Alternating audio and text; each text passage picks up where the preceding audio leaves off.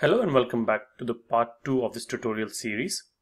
In this video, we will set up a Spring Boot Cloud App application which will work as a publisher for sending the messages on the SQS.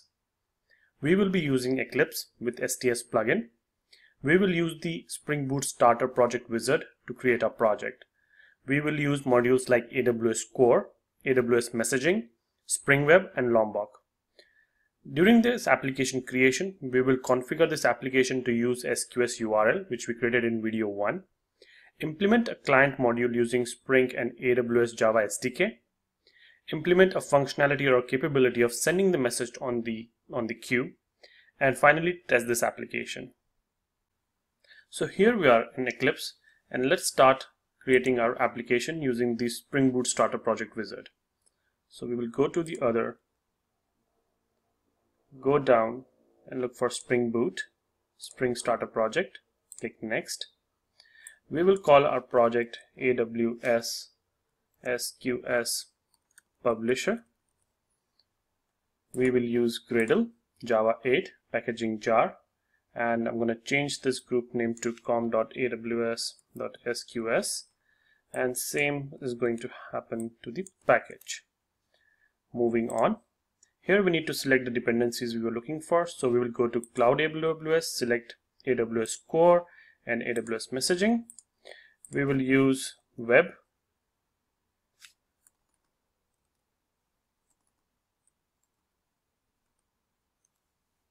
from Spring Core and uh, we will also use Lombok and finish. So this will create a Spring Boot a project for us with name AWS SQS Publisher. So now that we have our project ready, let's explore some of its components. So we have our main Java folder, we have our main resources folder, and here we have all the Gradle, uh, Gradle dependencies which came with this project. So we got uh, Spring Cloud AWS Core, we got Spring messaging. We got Java SDK for SDK, uh, SDK core. We got the Java SDK for SQS. And this is what, what all we need to accomplish our functionality of pushing or sending those messages onto the SQS. So let's start by creating our first package, which will be uh, dot client. And here we will define our client class and before that I'm going to rename this application properties to application YAML I like YAML better. And we will start defining some of the properties in our YAML file. Okay. and let's create our first class. It will be AWS demo SQS client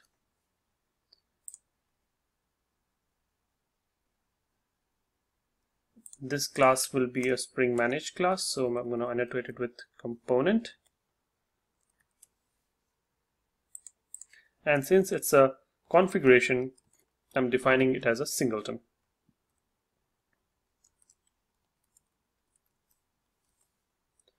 I want this class to be final so I don't want it to be extended. Alright and in this class we will have some properties like uh, AWS region private string um, AWS SQS URL and few more. So for now we will define we will start defining these properties in our application YAML file. Before we further this class let's go ahead and define some properties. So we're defining server and we're defining the port of it. And we're going to use 8050 and now we want to define some of the cloud properties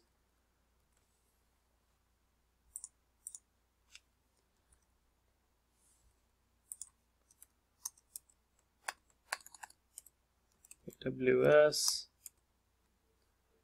region static US East.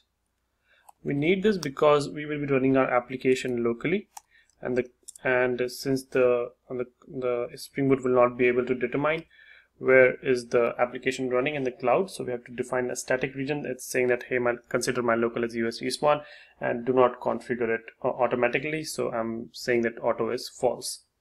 And uh, we are going to define property for SQS URL for it.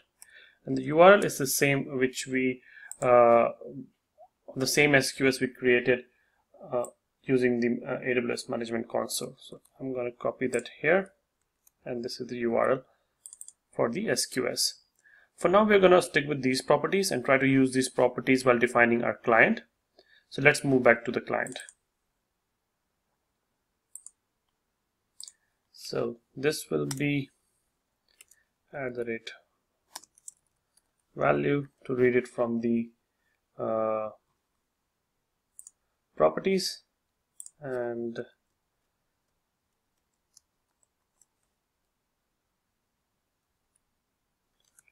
cloud aws dot region dot static.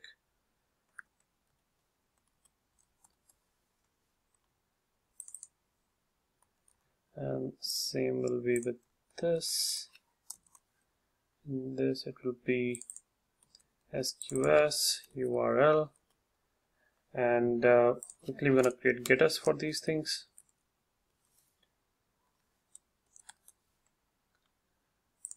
and same for this guy. So now we have the required parameters. Let's try to define a, a very simple amazon sqs client a very basic amazon sqs client. So i'm going to say private amazon sqs basic sqs client. And this will be coming from amazon's sdk and we will surely have a getter for it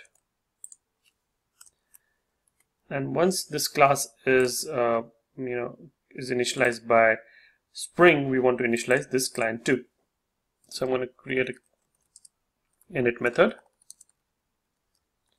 And within this init method we will try to create a basic client. Equal to Amazon SQS client builder class and we will use the standard method. It's a static standard method on this. And with region the region we have just defined in our YAML dot. So that is all what we have to do to create a very basic a, uh, Amazon SQS client using Spring Boot and you know Amazon's SDK and uh, there we go okay so this class is almost complete but we have to understand another concept that how the credentials will be passed to this client because so far we have not defined any credentials and how they will be passed on to this client while connecting or while sending messages uh, to the queue. As you can see, we are not providing any credentials to the above client at line number 31. Then how the credentials will be handled? To answer that question, Spring and AWS have a mechanism called AWS Credentials Provider Chain. The chain looks for credentials in multiple places in an order.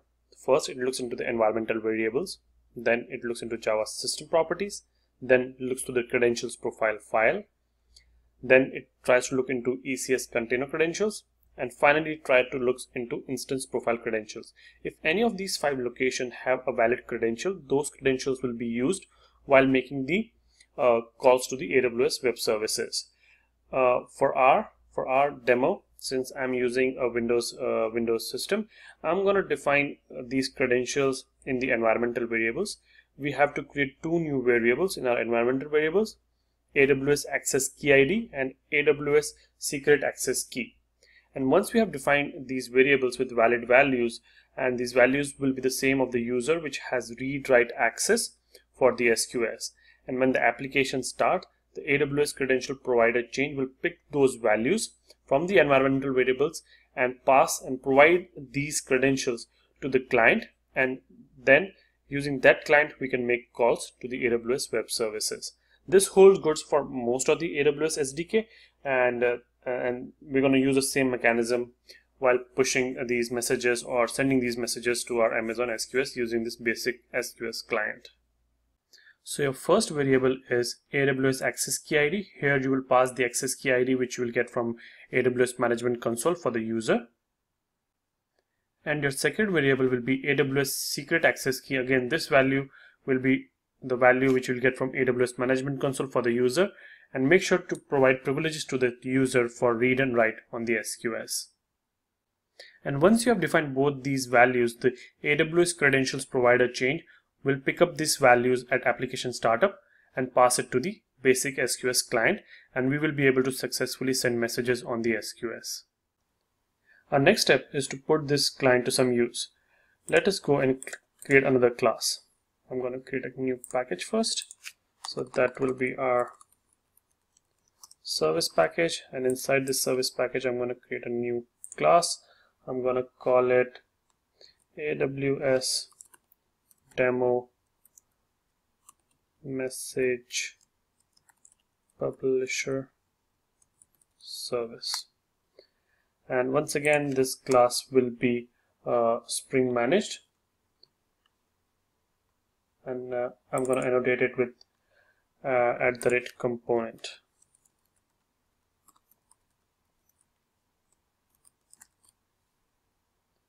Okay.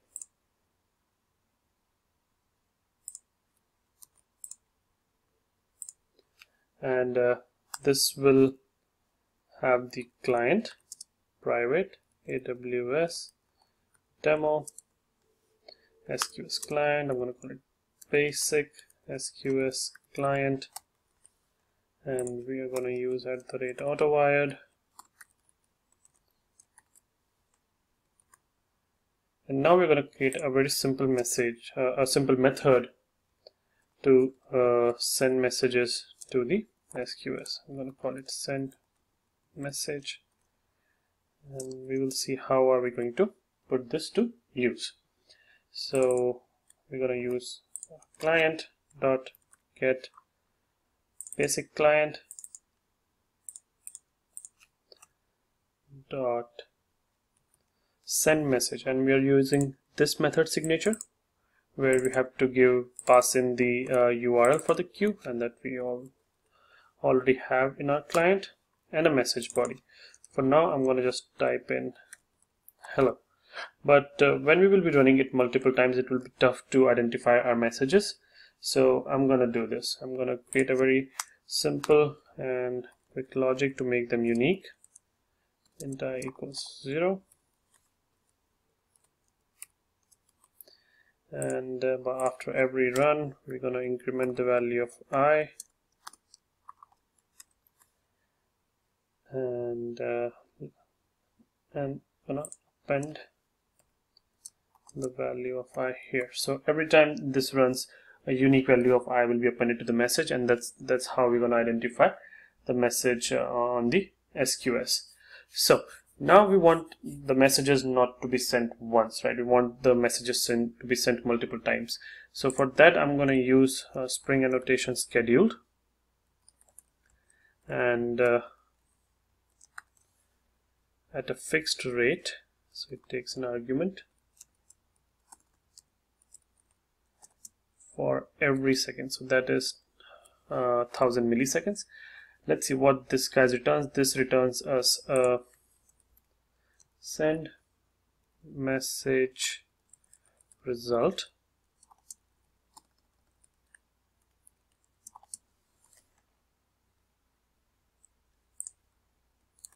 Okay and what are we going to do? We're going to log that message. So slf4j annotation. This is from Lombok. And now we get log dot info.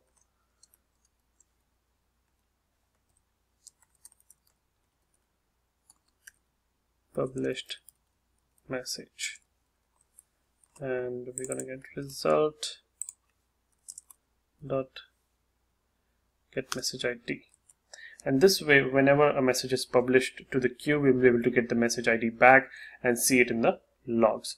So so far what we have done is we have created an SQS client. We've configured it with the SQS URL uh, the credentials will be provided by AWS credentials provided chain.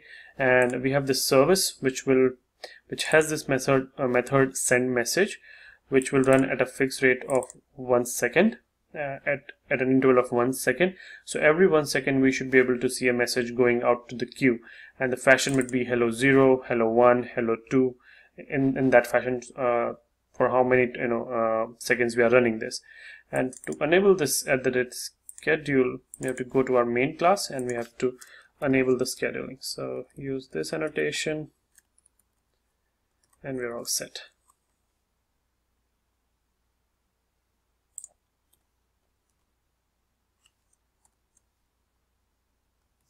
Alright, so it's now time for us to run this application and see if what we are claiming is true or not. Now it's time for us to put this application to test. So let me start it. Run as Spring Boot app. And now with every second we should see a message going to the SQS and the message ID getting uh, logged out on the console. Okay. And here you can see that we have messages going to the SQS every second and in in, in, a, in a while we'll see these messages on the SQS. I'm just going to get a few more seconds down so that we can see a good number of messages there and we'll see the fashion like hello 0, hello 1, hello 3 coming onto the SQS.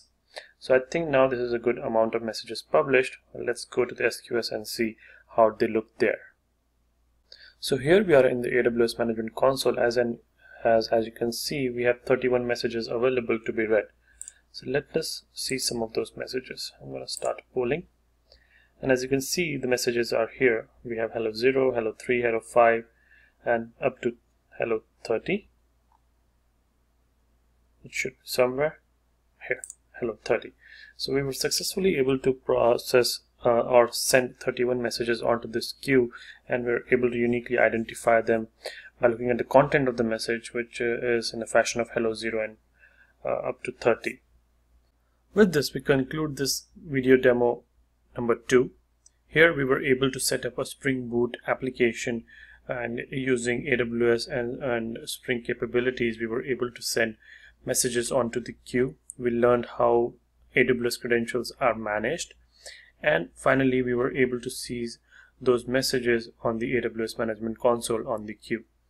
In the next tutorial, which is part 3, we will be uh, we will be creating a Spring Boot cloud application which will read these messages from the queue and hence trying to establish that pub publisher subscriber model and see how this uh, how SQS can be used in these kind of integrations. Thank you. See you in the next video.